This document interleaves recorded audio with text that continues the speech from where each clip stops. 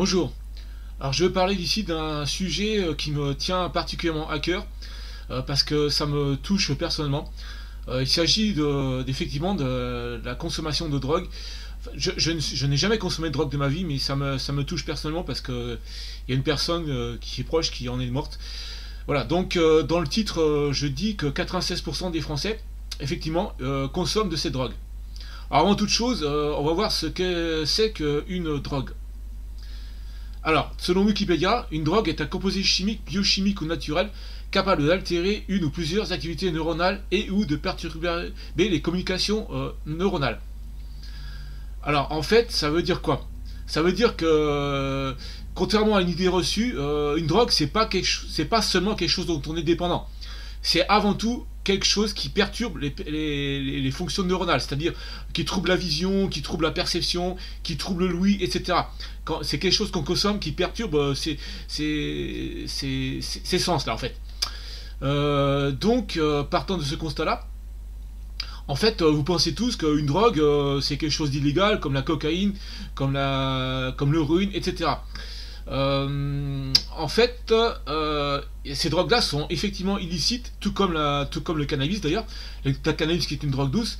Mais euh, il y a quelques années, j'ai appris qu'en fait, quelque chose, une substance que je, refusais de consommer, en fait, et qui est consommée par 96% des Français, est considérée comme la drogue la plus dure au monde. Alors je vais en parler, c'est ici, hein, sur ce site-là, mais si vous faites euh, euh, une, recherche sur Internet pour savoir quel est le classement des, drogues les plus fortes au monde selon les toxicologues, eh bien, euh, la drogue la plus dangereuse au monde, c'est l'alcool. Quelle est la drogue la plus dangereuse pour soi et pour autrui Vous pensez ce n'est pas l'héroïne ni pas la cocaïne, ce n'est surtout pas le cannabis, c'est l'alcool. Alors l'alcool, effectivement, est une substance qui perturbe l'essence. Au bout de 3, verres de vin, enfin 3 verres de, de 10-15 litres, on a l'essence perturbée. Donc on voit bien que, ça a le même rôle que, euh, enfin, ah, que je suppose, hein, le, cannabis, euh, l'héroïne, etc.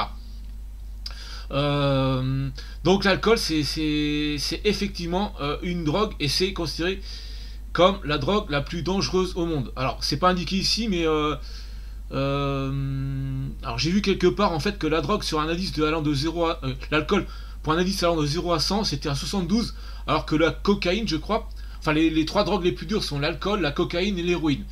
Et la, cocaïne était, à 55 et l'héroïne doit être à 52 ou quelque chose comme ça.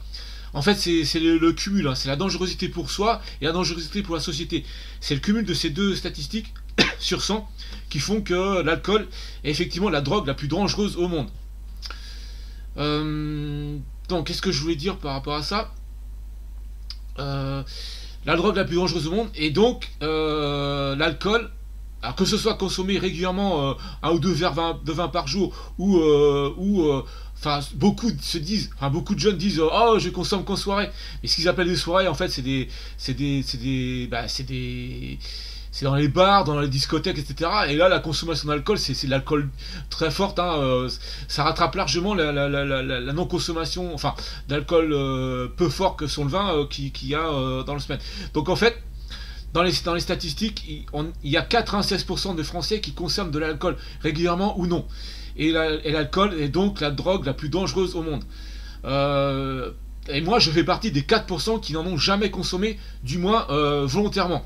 Parce que ce qu'il faut savoir quand même, c'est que quand j'étais gamin, on nous faisait bouffer par exemple des, gâteaux, enfin des, sortes de gâteaux euh, du baba au rhum par exemple. Le baba au rhum, je savais, je disais mais il y a de l'alcool là-dedans. On me disait non, il n'y a pas d'alcool. Euh, je sentais bien qu'il y avait un problème. Et puis en fait, on, m'a menti à mon insu euh, sur le fait qu'il y ait de l'alcool ou pas. Alors le pire, c'est quand c'est quand il y a des médecins qui vous font prendre des traitements avec de l'alcool. Euh, moi, ça m'est arrivé avec mon médecin traitant. Euh, euh, il m'a fait prendre un, truc qui contenait de l'alcool de menthe et, voilà, non, c'est clair et net. Même mes parents, quand j'étais gamin, bah, des traitements à base de, de rhum ou d'alcool de menthe pour éviter les nausées, des choses comme ça.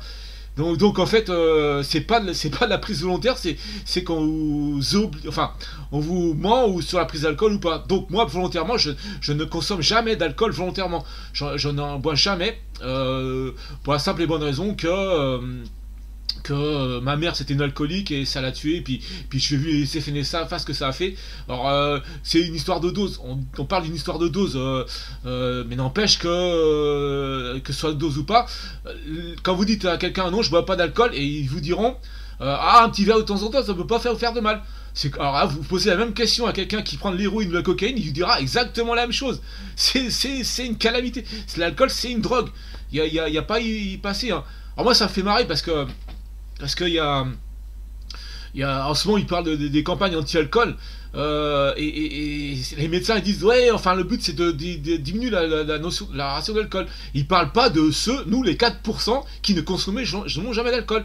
Et ce qu'il faut savoir c'est qu'en fait euh, être sobre être vertueux en France c'est un motif d'exclusion de la société. De toute façon moi j'en ai rien à foutre. De toute façon j'exclus de mon entourage immédiat également tous ceux qui consomment de l'alcool donc euh, c'est kiff kiff bonito je pense qu'on est on, est c'est dichotomique hein. quelqu'un qui consomme pas d'alcool enfin, moi en tout cas, euh, je ne peux pas accepter d'être d'être avec quelqu'un qui, qui en En tout cas, certainement pas ma compagne hein, ou pas des amis proches. Hein.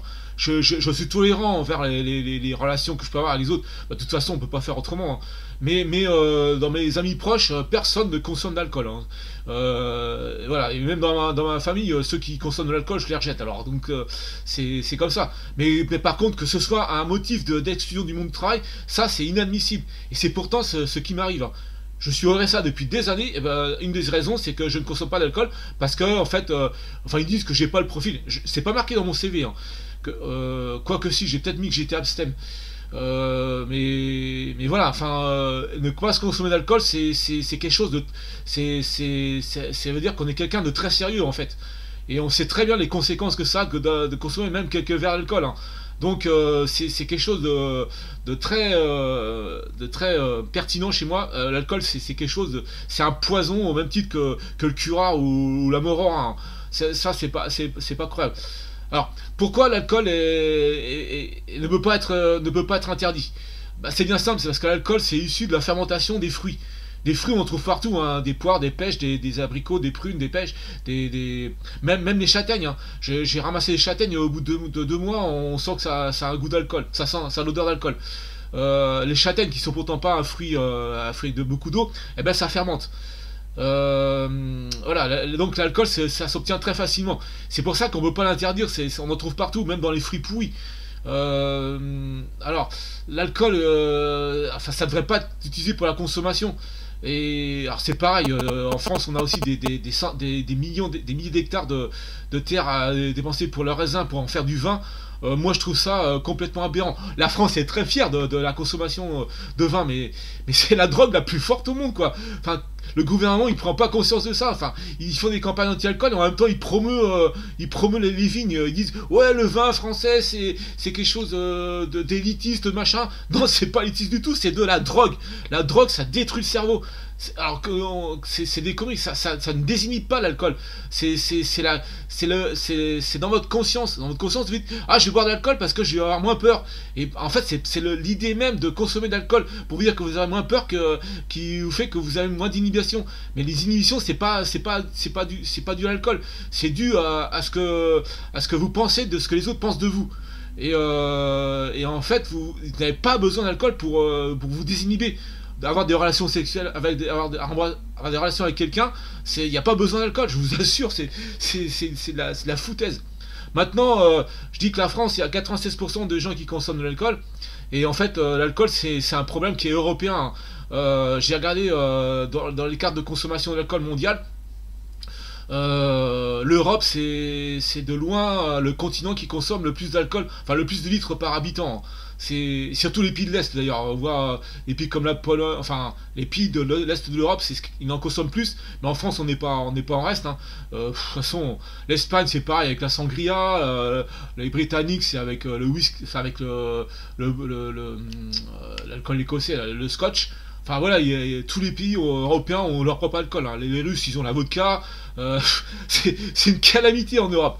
Et, donc, comme je le disais, euh, en fait, euh, quand on ne boit pas d'alcool, on est exclu du monde du travail. Enfin, c'est un des facteurs qui fait qu'on est exclu du monde du travail. Moi, je suis au RSA depuis des années. Euh, je n'arrive pas à décrocher un job parce que j'ai peur de me retrouver confronté à des gens qui consomment l'alcool, qui ont, qui ont un comportement un peu déviant, selon moi.